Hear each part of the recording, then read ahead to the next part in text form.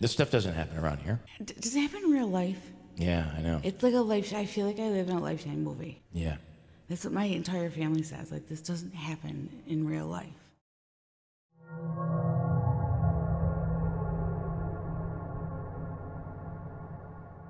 Bonjour à tous, comment allez-vous? Moi je me porte bien. Aujourd'hui nous allons parler du meurtre de Bianca Devins. Bianca était une jeune fille de 17 ans qui a été assassinée par un homme qui ne supportait pas de pas l'avoir. Alors il l'a tuée et a publié les photos sur les réseaux sociaux. Mais avant de commencer, si c'est pas encore le cas, je t'invite à t'abonner à ma chaîne YouTube et mettre un petit like à cette vidéo. Ça m'encourage énormément à continuer ce que je fais présentement. Bref, laissez-moi vous raconter l'histoire tragique du meurtre de Bianca Davins, qui avait au moment des faits 17 ans. Générique.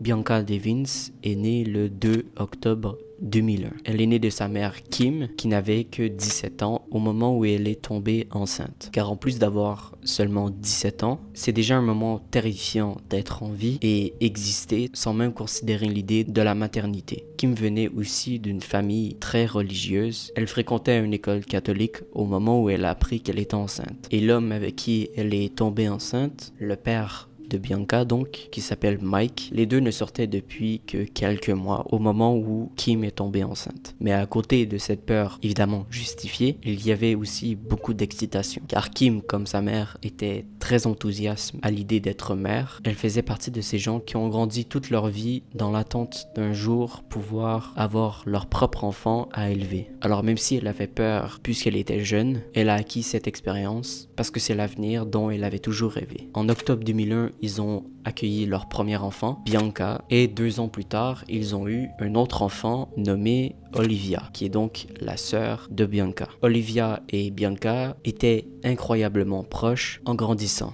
Olivia voulait être comme sa grande sœur. Vous connaissez probablement euh, ce que c'est d'avoir une petite sœur qui vous voit comme un modèle et qui veut absolument être comme vous. C'est un peu un classique dans une famille. Et puis, étonnamment, Bianca était assez protectrice de sa petite sœur. Mike et Kim n'avaient pas une bonne relation l'un pour l'autre. Kim a déclaré que Mike était violent verbalement et que la police s'est rendue de nombreuses reprises chez eux durant leur relation. Bianca était devenue une sorte de protectrice auto-proclamée et qu'elle s'interposait souvent entre sa mère et son père lorsque les deux se disputaient. Le couple a essayé de se séparer lorsque Bianca avait seulement 9 ans, mais ils ont fini par réessayer d'à nouveau se réconcilier pour garder leur famille réunie. Mais finalement, ils se sont complètement séparés en 2015 et ils ne se sont jamais remis ensemble.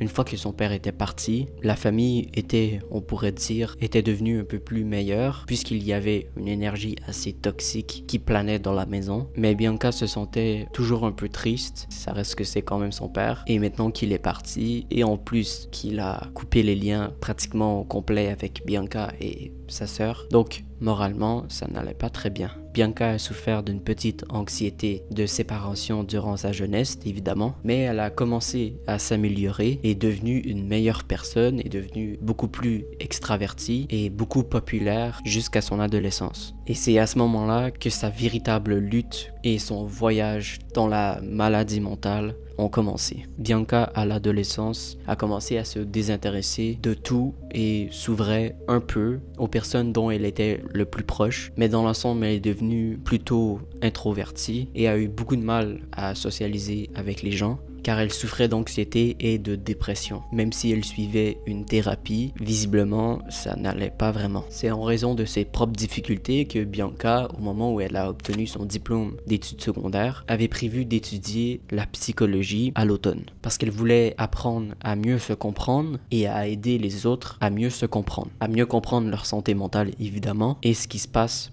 dans leur tête. En plus de l'anxiété et de la dépression dont Bianca souffrait, on lui a également diagnostiqué un trouble de la personne limite et un trouble de stress post-traumatique et elle se trouvait souvent déclenchée par des stimuli audio. Ça provoquait évidemment des crises de panique qui l'empêchaient d'aller à l'école. Ou si elle allait à l'école, elle finissait dans le bureau de l'infirmière et devait être récupérée par sa mère au milieu de la journée. Évidemment, elle ne pouvait pas passer une journée complète à l'école dû à ces crises de panique. Et c'est le genre de choses que si vous n'avez jamais vécu de crise de panique, vous pouvez pas vraiment comprendre. Évidemment, c'est une chose très merdique à vivre et c'est un calvaire pour les personnes qui vivent ça. Bref, Revenons à Bianca. Les choses ont complètement empiré. Vers la fin de sa dernière année, elle a fini par être inscrite dans un programme de tutorat à domicile. En gros, pour faire court, apparemment, c'est un programme dans lequel tu fais l'école à la maison. C'est donc pendant cette période d'isolement où elle n'allait nulle part et restait à la maison tout le temps et qu'elle a commencé à s'intéresser aux médias sociaux. Mais évidemment, c'est pas à ce moment-là qu'elle a commencé à être sur les médias sociaux. Auparavant, elle l'était déjà. Elle a commencé, comme un peu tout le monde, assez jeune aux médias sociaux. Selon Internet, elle a recommencé à utiliser les médias sociaux à l'âge de 12 ans, comme à peu près tout le monde. Mais en restant à la maison, elle a vraiment commencé à s'y intéresser de plus en plus. Elle était toujours sur l'ordinateur, toujours sur son téléphone, et elle était active sur de nombreux médias sociaux. Après la mort de Bianca, beaucoup de médias ont commencé à faire croire que Bianca était une star des médias sociaux, qui avait été tuée par une autre star des médias sociaux, alors que la réalité n'est pas vraiment vraie. Mais en réalité, elle n'était pas populaire, c'était simplement une jolie fille qui avait au moment des faits 2000 abonnés sur Instagram. Elle était très active et elle parlait à beaucoup de gens et elle avait beaucoup d'engagement. Elle était beaucoup active sur Instagram, 4chan et évidemment Discord. Je sais pas pourquoi ils ont dit ça, je sais pas pourquoi ils prétendent qu'elle est une star des médias sociaux, peut-être pour la rendre un peu plus sensationnelle. Puisqu'elle était, comme j'ai dit un peu plus tôt, une jolie fille qui existait en ligne. Vous savez très bien, mais Bianca faisait partie du groupe des gens qui se font appeler les e-girls et elle était beaucoup excentrique. Si vous n'êtes pas trop familier avec euh, ce terme, je vais vous afficher quelques photos de ce que c'est les e-girls. Elle aimait les animés, elle aimait le dessin, la peinture et l'art général. C'était une artiste vraiment, vraiment talentueuse. J'ai vu quelques peintures qu'elle a publiées sur son Instagram puisque son Instagram est encore public. Il n'a pas été supprimé. Avec ce que j'ai vu sur son Instagram, elle avait beaucoup de talent. Comme j'ai dit un peu plus tôt, elle était beaucoup excentrique, mais dans l'ensemble, la meilleure façon dont j'ai entendu parler, la famille la décrivait comme étant simplement attentionnée et aimante. Bianca était l'amie thérapeute et elle était celle qui s'assoyait là et vous écoutait et vous faisait vous sentir spéciale, importante et blessée puisque elle-même luttait contre beaucoup de choses différentes tout en vous aidant à gérer les choses avec lesquelles vous luttiez. Bianca avait beaucoup, beaucoup d'admirateurs sur 4chan. Il y avait beaucoup de personnes, beaucoup d'hommes qui lui parlaient. Elle aurait, durant cette période, subi de l'harcèlement de la part de la communauté des incels. Pour ceux qui savent pas ce que c'est des incels, c'est, selon Wikipédia, les incels désignent la culture des communautés en ligne dont les membres se définissent comme étant incapables de trouver une partenaire amoureuse ou sexuelle. Qu'ils décrivent comme célibat involontaire ou Dome. Ceux qui se déclarent incel sont en majorité des hommes cisgenres et hétérosexuels. Parlons maintenant du meurtrier de cette histoire que j'ai nommé un peu plus tôt. Là, on a beaucoup parlé de Bianca. On va y revenir un peu plus tard avec les événements qui sont déroulés. Mais maintenant, je voudrais parler de le meurtrier qui se nomme Brandon Andrew Clark, qui est né le 6 octobre 1997. Brandon Clark a grandi dans des environnements instables, ce qui a apparemment joué un rôle dans son développement global. Son père a souvent abusé de sa mère quand il était jeune, la tenant une fois en otage sous la menace d'un couteau pendant 10 heures parce qu'il croyait qu'elle était infidèle. Cette affaire a eu lieu et a été signalée alors que Brandon avait 12 ans, ce qui a conduit son père à purger une peine de prison évidemment, la mère de Brandon a été arrêtée et incarcérée pour des accusations non liées peu de temps après, le laissant ainsi en famille d'accueil. L'adolescent a alors commencé à montrer des signes de comportement obsessionnel. Brandon a, d'abord fait une fixation sur les jeux vidéo et ensuite sur les mangas. Pourtant, évidemment, comme prévu, il a fini par s'intéresser aux filles. Avance rapide de quelques années et en 2019, Bianca a bizarrement attiré son attention. Les deux se sont d'abord parlé sur Instagram en avril avant de se rencontrer et de nouer un lien d'amitié. Mais elle lui a fait très vite comprendre qu'elle se concentrait plutôt sur son futur et elle pensait qu'il était également d'accord avec ça. Et visiblement, ça n'a pas été le cas avec ce qui s'est produit. Et parlant de ce qui s'est produit, Lorsque Bianca a demandé à sa mère si elle pouvait aller voir le spectacle de Michael Dolan Ganger, je sais pas si je l'ai bien prononcé, j'ai dû détruire son nom de famille, désolé, avec Brandon dans l'état de New York, parce qu'évidemment les événements se passent à New York, j'ai oublié de préciser, qui se trouve environ 4 heures de où vivait Bianca, qui se situe à Utica. Sa mère, évidemment, elle a accepté puisque Brandon a été décrit plus tard par la sœur Bianca, Olivia. Elle l'a décrit comme étant un ami de la famille. Il n'y avait pas vraiment de problème pour ne pas accepter. Brandon et Bianca, le 13 juillet 2019 pour aller à ce fameux concert. Malheureusement, Bianca n'est plus jamais revenue à sa maison. Vous devez probablement vous poser comme question, mais qu'est-ce qui s'est passé à ce fameux concert pour qu'on en arrive à un meurtre et ensuite une accusation et évidemment de la prison? Alors laissez-moi vous parler de cette fameuse soirée. Cette nuit-là, au concert, Bianca et Brandon ont rencontré une troisième personne. C'était un autre ami des groupes de Discord de Bianca et cet ami, selon internet, il se fait appeler Alex et ce fameux Alex était quelqu'un avec qui Bianca avait une sorte de relation amoureuse ou de flirt mais ils ne s'étaient jamais rencontrés en personne. Ils se rencontraient donc pour la première fois. Je sais pas si Bianca avait mentionné à Brandon que Alex venait, mais visiblement ça a été une surprise pour Brandon puisque ce qu'il a fait après, selon moi, aurait probablement pas eu lieu si ce fameux Alex n'aurait pas été là. Après, je remets pas en cause les actes qu'il a commis, c'est horrible, mais j'ai le droit à mes hypothèses.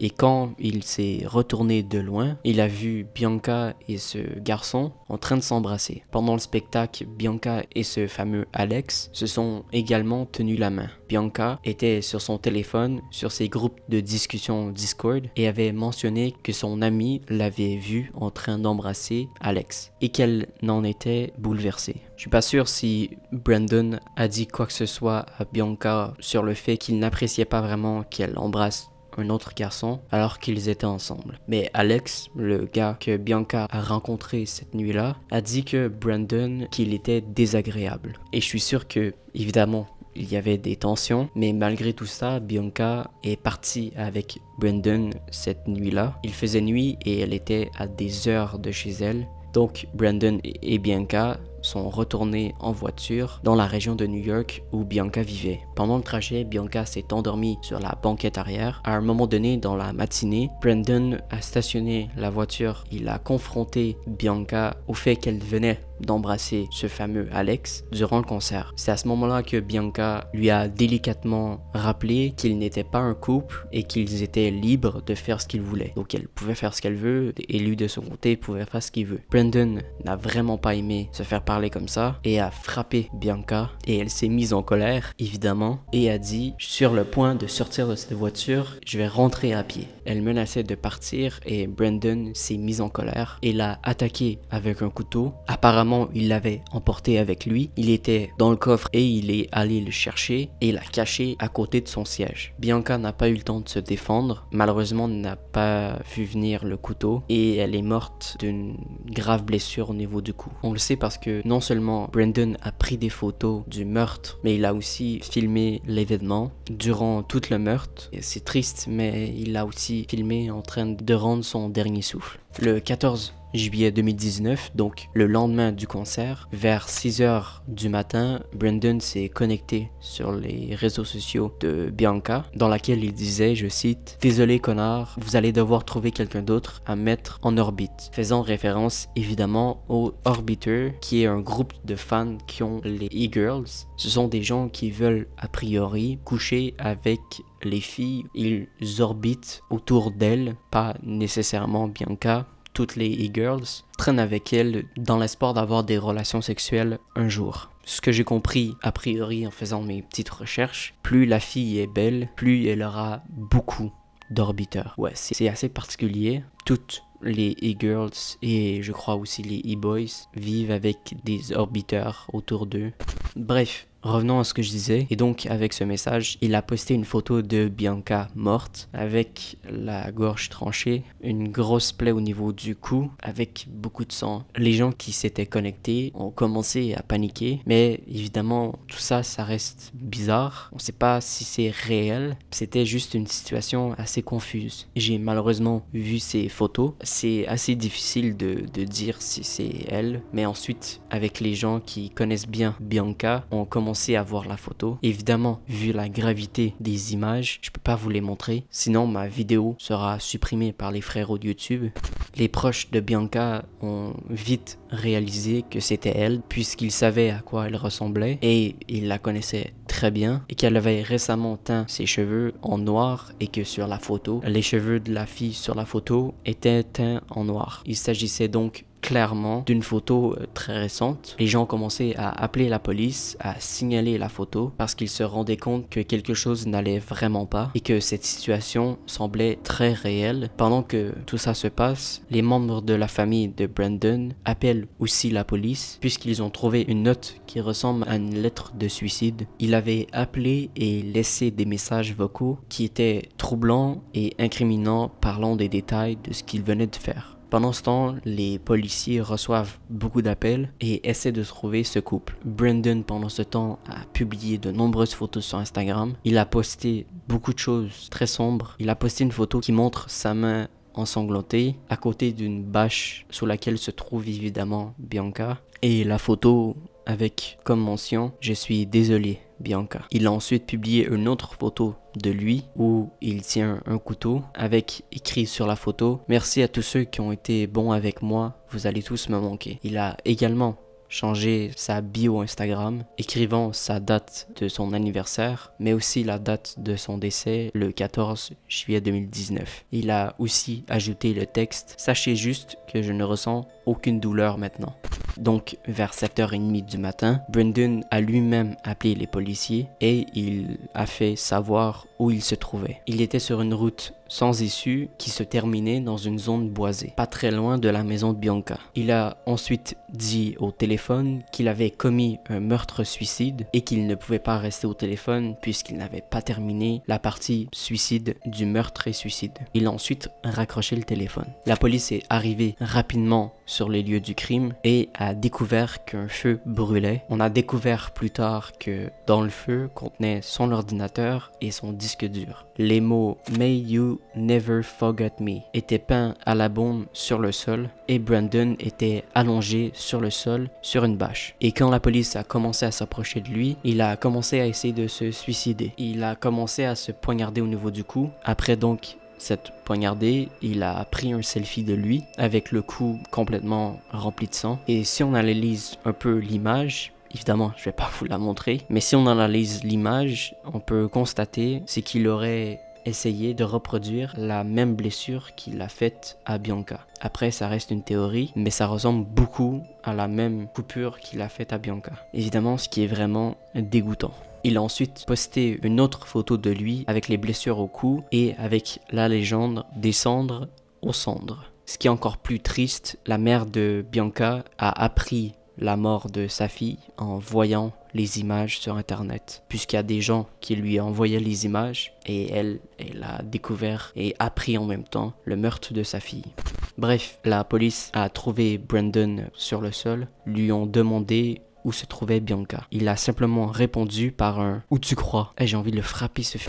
Et c'est là que les enquêteurs ont remarqué qu'il y avait des cheveux dépassant de sous la pâche. Brandon a donc été arrêté, évidemment. Il a survécu aux blessures de sa coupure au niveau de son cou. Dommage. Le lendemain, il a été interrogé. Il a été interrogé par les enquêteurs et les enquêteurs ont aussi noté qu'il semblait incroyablement intéressé par le fait que son cas allait être diffusé à la télévision.